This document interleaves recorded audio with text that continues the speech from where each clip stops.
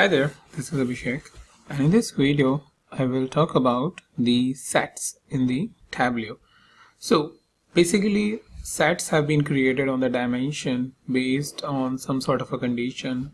Let's say for example we want these high value items uh, to be a part of one set. So what we can do is we can create a drag over here and just go over here right click and create a set so once we create a set we can give a name.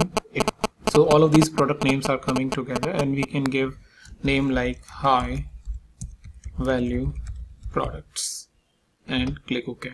Once we have the high value products like this you know we can segregate between the products which are uh, high value and low value. So by clicking it over the color it shows you clearly what are our high value products over here and what are our low value products uh, based on the uh, set that we have created on the product name.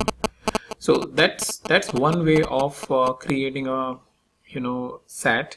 Another way is uh, you can go on the product name over here click on this down arrow and click on the create set.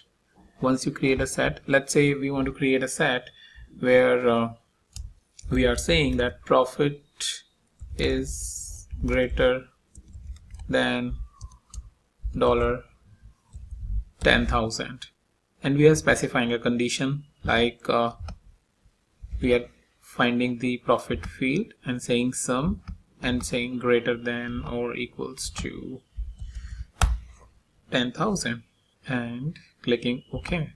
So now we are having a profit is greater than 10,000 that's the set we have created. And let's remove this and put it this one on the color so here we have all the values where the product name uh, or all the products where say profit is more than 10,000 as you can see over here.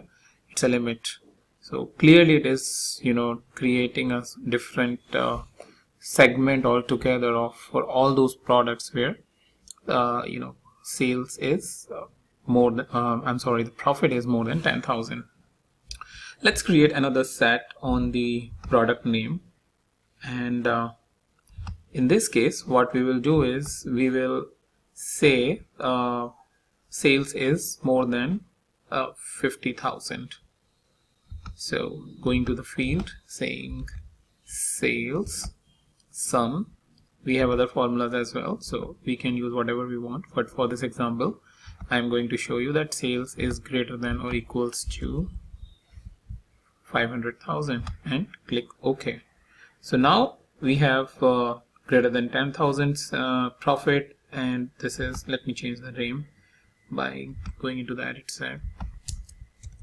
Sales greater than or equal to 50,000.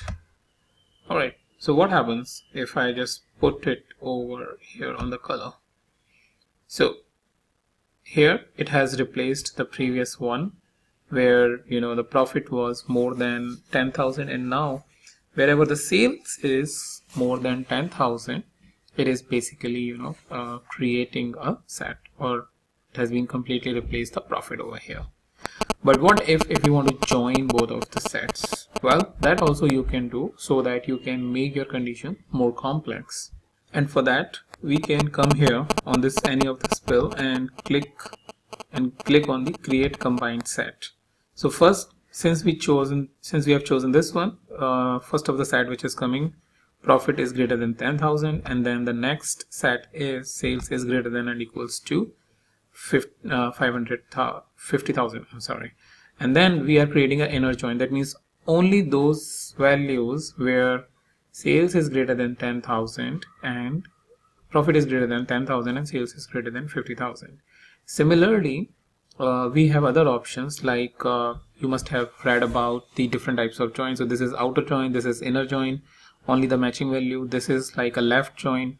So whatever is on the left. So here in this case, profit is greater than 10,000, only those values uh, and matching with the uh, and the values which are present in sales as well.